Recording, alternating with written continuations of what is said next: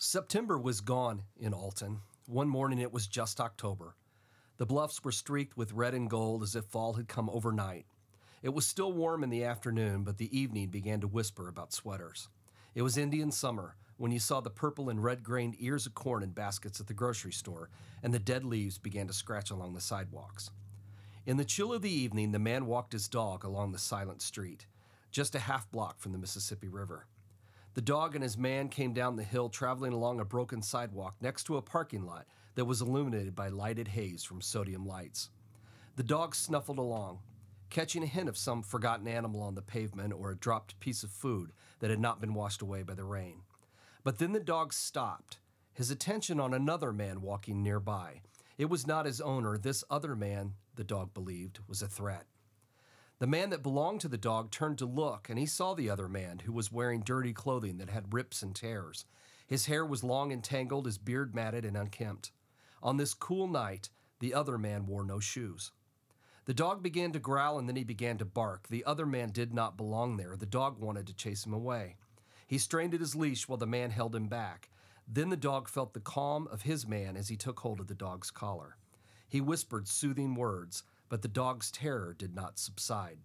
The man looked up, unsure of whether to apologize to the other man, the barefoot man in the tattered clothing, or chase him away. But when he looked up, the other man was gone. He'd not fled or walked away, he'd simply vanished. The ragged man had disappeared. Shaken, the man and the dog returned home. Later that night, the dog would whimper in his sleep, dreaming of whatever frightens a dog. The man's sleep would not easily come. When he told his wife what had happened at the parking lot near the river, her eyes had grown wide. She had heard the stories that her husband had not. The parking lot from which the ragged man had vanished had once been the site of the most notorious prison in Illinois, and the place where some of Alton's first ghost stories were told.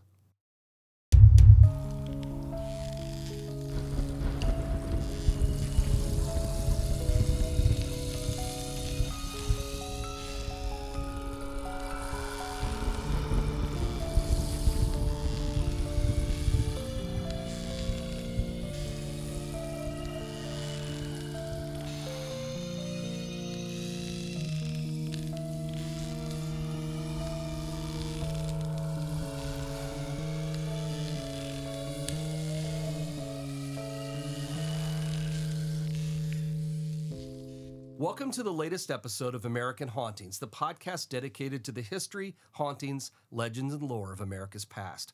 Hosted by Cody Beck and Troy Taylor, our first season explores the hauntings of Alton, Illinois, one of the most haunted small towns in America. This is the first of a special two part episode about the infamous Alton Penitentiary, the first prison in Illinois and one of the most brutal Confederate prisons during the Civil War.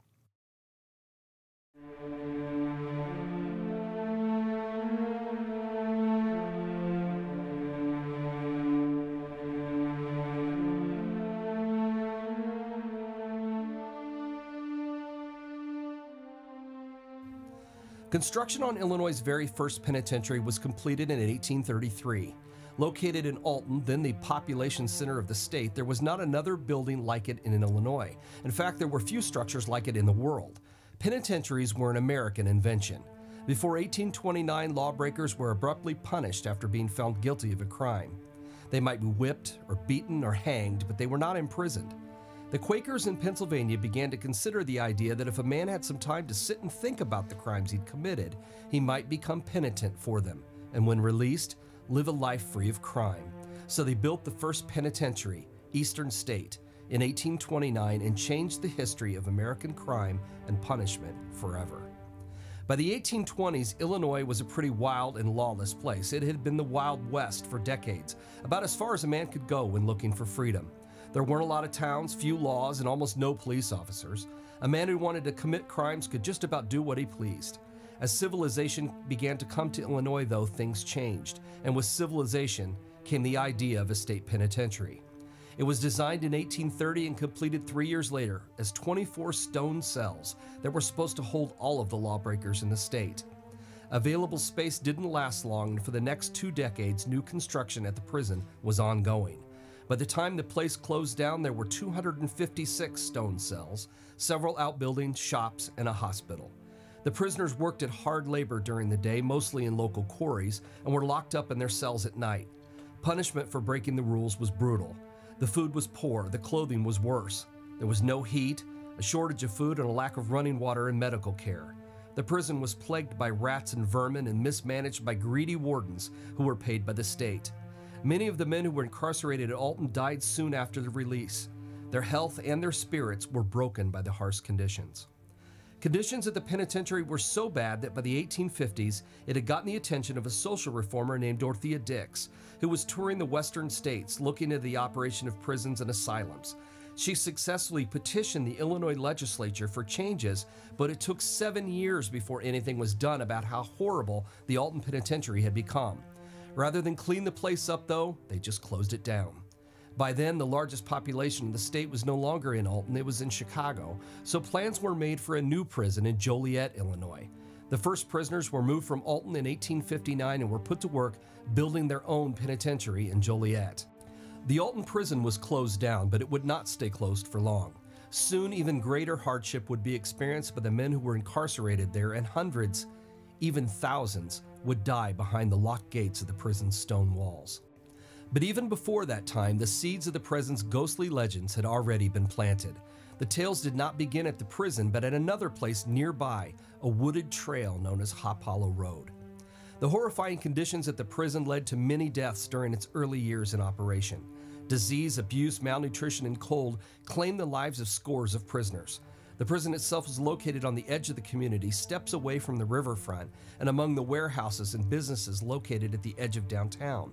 There was no room to bury the dead.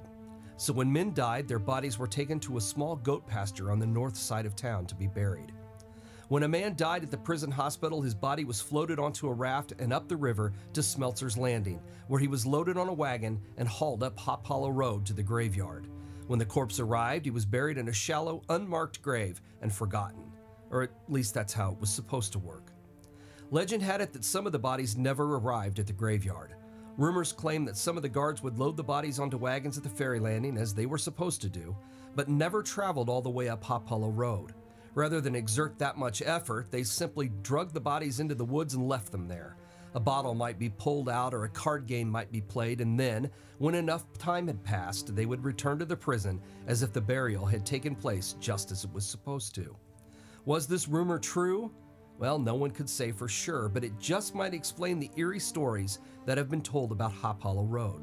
The stories say that the men who were never buried do not rest in peace. Over the years, their ghosts have been seen along the roadway, and some believe these phantoms are searching for a ride to the cemetery where their bodies were supposed to have been taken. The unlucky drivers who pick up these hitchhikers were always shocked when the passenger simply vanished without a trace from the seat next to them. At that point, the story goes, they realized they picked up a ghost. The best advice that we can offer is this. If you happen to be driving along Hop Hollow Road some night and see someone standing on the edge of the road waving his arms and looking for a ride, well, you may not want to pick him up. In our next episode, we'll continue our history of the Alton Penitentiary at the start of the Civil War and how a smallpox epidemic created a number of ghost stories that are still told today.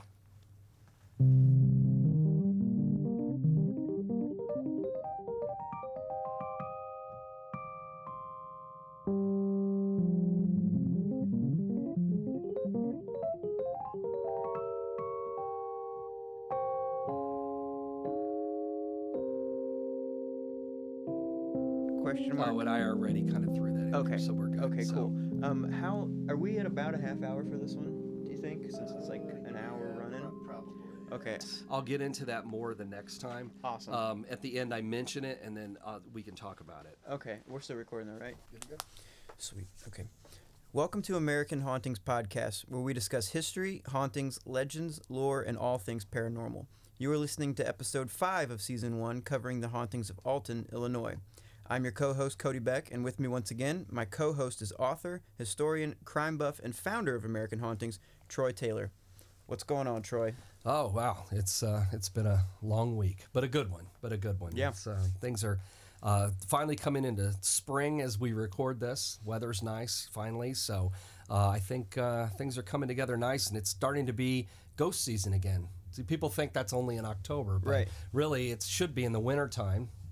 But no one wants to do anything in the wintertime. No, I'm, I'm happy. It's it's the most wonderful time of the year. It is. I'm, It I'm excited. I think the main point of this episode for me is just good life advice. Is just don't pick up hitchhikers. I know, Ever. isn't it? Yeah, I think it is too. I For any think reason. stories like that got started when it was okay to pick up hitchhikers. You know, every every Phantom hitchhiker story now you you hear those stories and you go, why would I pick anyone up? Right. You know, a girl in a white dress in front of a cemetery. Why would I pick that person up? No Right. one would now. But in you know 1934, that seemed like a great plan. It's like yeah, know, she seems legit. Let yeah, exactly. You know, just don't mind the blood all over her dress or whatever. You know. And So- I, I love the the story of it's just like stereotypical like uh, government workers. It's just like they take the body up there. You think they're going to do their job, but no, they're just you know getting drunk on our dime. Well, you know, the, the, the thing behind that, the, the funny thing about that story is that, you know, um, a lot of the, a lot of that was like a, a something that started when the prison was open and, and continued on later when it was just, you know, a Confederate penitentiary. Yeah. Um, it was said that the soldiers did the same thing. And, you know, I had heard that story for a long time. And um, I was living down here when there was a story that popped up in the newspaper that some kids had found a body in the woods up along that road. Yeah. And the police had gone out there, you know, they they called the police. It was obviously human remains and had called the police. And when they went out and they, they kind of dug up the body and found, you know, some clothing still, like some leather pieces and that kind of stuff, and dated it, they believed to the Civil War or before. And then suddenly Wow. you're like, huh. you know, maybe Yeah. that wasn't just a story. You know, Right. uh, maybe there there really is some truth to that uh, about them dumping the bodies. I mean, stories like that. You know, we talked about this before, but I mean, stories like that get started for a reason. Right. You know, they they have a seed of truth. For sure. And uh, I would say that somebody. You know, probably was sitting around in a bar one night and went, "Ah, we don't bother taking those bodies all the way. We just dump them out in the woods. Who cares?" You know. And th- and then somebody spread the story, and it went a little further. And then you know, before long, you've got this legend, and then soon you've got a ghost story. Because I mean, again, that's one of those things where it only takes one. yeah, It only takes one person to have been up around a, you know, a roadway and saw a phantom on the side of the road kind of thing and, and tells the story to somebody else. Because, I mean, that's, I mean, I actually have a personal experience with this. Not that I saw, but was there when it happened. Uh, when I first moved here to Alton, before we started doing our walking tours, um, we did trolley tours. My friend Sonny Irvin, uh, had a trolley company at the time, and Yeah. he he talked me into doing tours with him. So we were out on a tour one night, and we you know we did all the usual places, all of which we'll talk about in the podcast. And we're on our way up, and we were driving down not the old stretch of Hop Hollow Road that went to the Blue Pool. That's all. That's all gone. There's no road there. Right. But where it connected to, there's still a piece of Hop Hollow Road that goes up to what's now the Confederate Cemetery, but was a goat pasture back then. And we were driving along that road, and I, I always usually, t- when I tell this story, I start it with, it was a dark and stormy night. And it really was. Okay. So it's raining and it's cold and uh, you know the inside the windows are fogged up in the trolley and and we had a routine uh, like a set routine that we would do as we went down this road i mean because you know ghost tours are entertainment and sure. so we were you know this was our our way of entertaining the group. And as we would travel along this road and it's pitch dark and every once in a while a branch had brushed the top of the trolley and, and there's a, there's a great mood right, Right. so i would tell the story and i would get a little quieter and a little quieter as we went you know so everybody had to really pay attention to what i was saying. So i'm just getting to the part of the story where they're bringing bodies up by wagon up hop hollow road. Well all of a sudden now this is before i got to the point about dumping bodies and ghostly hitchhikers. I hadn't gotten that far yet. Two women in the back part of the trolley and i still to in my mind can see where they were sitting in my head. Mm-hmm. To my right second seat from the back. And they started screaming screaming. I mean and it just because everything was so quiet i mean it just terrified everybody on the trolley Yeah. right? I mean to the point that sonny actually pulled over off to the side to, to, to see what was going on i mean we did we had no idea he said, "Ma'am, please hold all your screams to yeah, the end of the tour." the end of the story, Thank right? you. So anyway, so we stop and these women are like, you know, well, you know what's going on, and these women were like, well, as we were driving up this road, we had just wiped off the, you know, the the film on the window and looked out, and they had both seen a man standing on the side of the road, waving his arm at the trolley, and disappeared. Oh, man. And that's when they started screaming. Now, at this point, I had not Discuss published the book. Right. I had never told the story. They were not from Alton, so they couldn't even have heard it locally. They came from like Kansas City somewhere and, and came to take the tour. So didn't know anything about the, any of the history, didn't know there was a supposed to be phantom hitchhikers along that road, nothing. Right. And yet here was this thing that had happened exactly like all the stories said to two people who'd never heard the stories. Yeah. And um, ever since then, I've always thought, you know, it was kind of like, you know, in our in an in a, in a past episode, I, I talked about the ghostly little girl at the Ruebel Hotel, but Yeah. Mm-hmm. I never really believed it. Well, then suddenly uh, something tells me maybe there's something to this. It's exactly Abigail what happened on Hop Hollow Road. Yeah. It's made me think that, hey, maybe there is something to this story. So, um, you know, all of these, everything we talk about in every single episode of the podcast, I think, you know, no matter how far fetched a lot of it might seem, Mm-hmm. I think there is a seed of truth to, well, just about any story that you hear. Right. And it's You good that it kind of legitimizes it I think a, it does too. I think it does too. that. Is these stories have been around for a long time. Um, the prison is, and and we'll talk about that in in the next episode. Mm-hmm. But the prison was really the first publicized, like in the newspapers, ghost stories that you heard about Alton was what was left of the prison and the people who had experiences there. So there's a, a lot of history. I mean, Alton Alton's ghosts are all about history.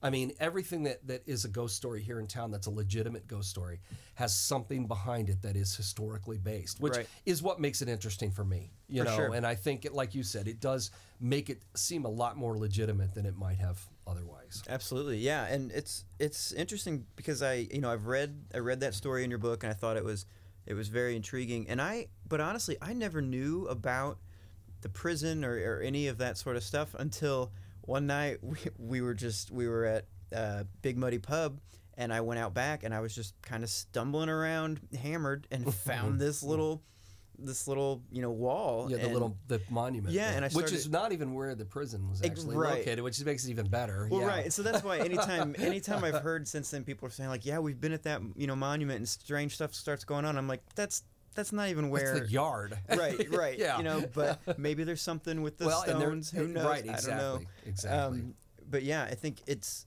when I you know little kids creep me out, but when I really really sit back and think about it, I think being in prison. Especially back then, but even now, is probably the most terrifying Oh, thing I- I, can I think, think of. so. But when you describe the conditions of the prison and the things that those people had to go through, it sounds like it's that's hell. That's well, a, a it's nightmare. you know, and the the penitentiaries, well, like asylums and everything else in our past, we're all started with good intentions. That's Yeah. that's the thing. I mean, you know, and they're Well, the they're actually things have right. been done I know when you know you know hell hell is paved with a road. You know, the Right. road to hell is paved with good intentions.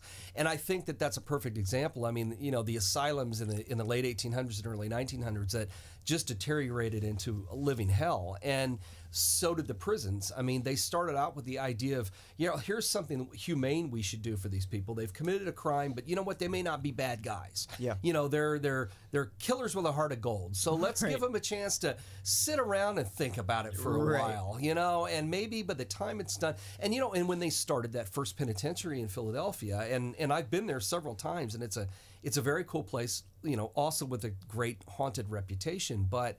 Um, you know, they these guys were in solitary confinement. They had these these tiny cells, which had running water in them in 1829. I mean, the White wow. House didn't have running water in 1829, Right. but it was so these people would never have contact with another person. That's the I mean, When they got there, a hood was put over their head. They were marched to the cell. They were locked up, and they didn't leave it except to go out in, outside to get some fresh air into a wall courtyard Mm-hmm. behind their cell with walls that were like 10 feet tall. They never saw another person. Man, and it drove a lot of them insane. Yeah, Yeah. I mean, it drove, literally drove a lot of them insane. Yeah. And so eventually that ended too because, well, that seemed like a great idea, but it's not so great. So let's do something else. Um, the, the penitentiary here in Alton was never meant to be solitary confinement. Um, it was more like the prison that was built in Auburn, New York at the same time. And it was the Auburn system, is what they called it. And that's what the Alton Penitentiary was.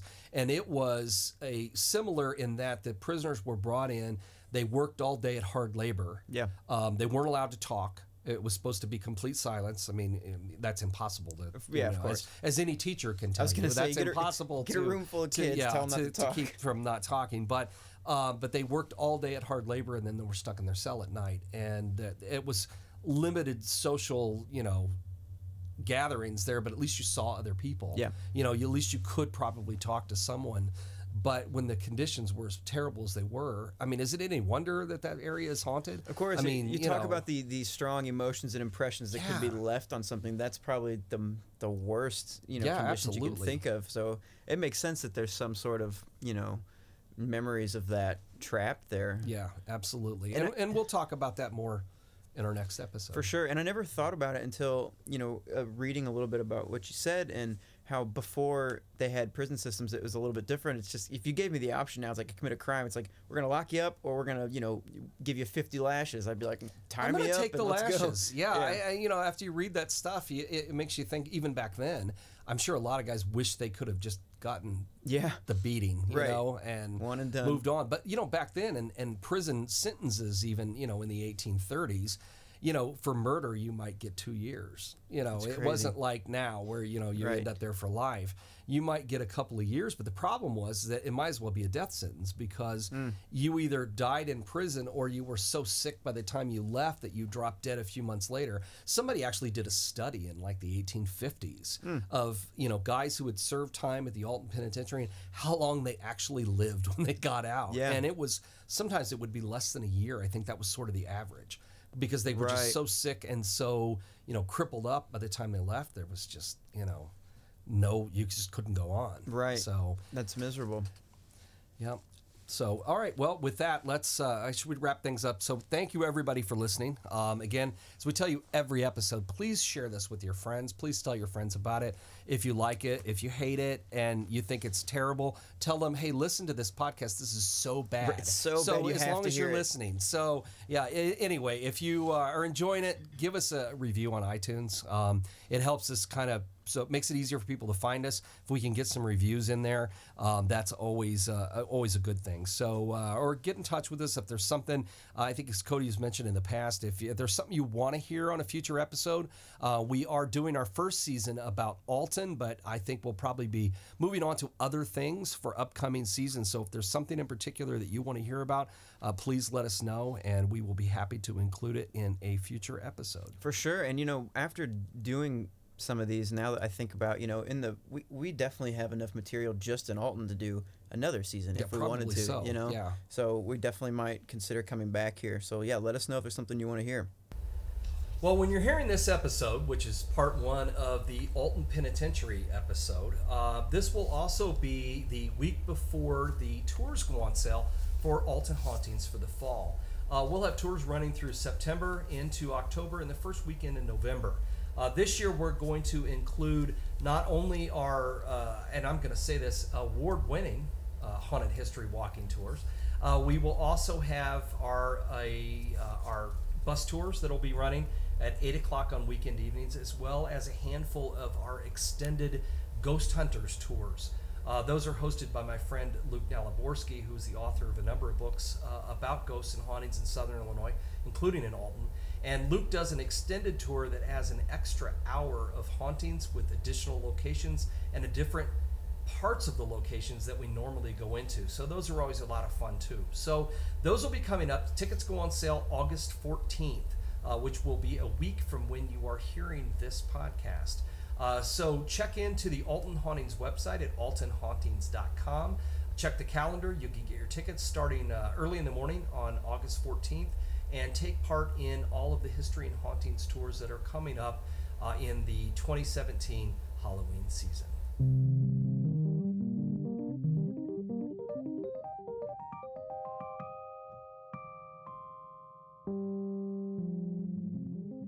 We aim to combine historic record, scientific method, observation, and imagination in order to teach you a little bit more about the paranormal activities of Alton, Illinois. American Hauntings is a bi weekly podcast. You can hear new episodes every other Monday, so please tune in to hear our latest episode and receive a brand new paranormal history lesson. You can learn more about our podcast and find new episodes on iTunes by searching for American Hauntings or by going to AmericanHauntingsPodcast.com, where we also have links to some of Troy's books as well as other information about upcoming ghost tours and things like that. As for your host, you can find me on Twitter and Instagram at CodyBeckSTL or CodyBeck.com. Please say hello or tell me how much you hate or love the show. You can find Troy on Twitter at Troy Taylor13 and on Facebook by searching for the Troy Taylor author page or by going to facebook.com slash author TT. You can also check him out at AmericanHauntings.net. And this episode was produced and recorded at Lighthouse Sound Studios. For more information, find them at lighthousesounds.com.